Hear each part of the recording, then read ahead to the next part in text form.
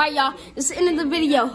We're going to do, be doing a part two later. If y'all did keep them views up, then we're going to be doing a part two. Keep the views up. Let's get it. Jump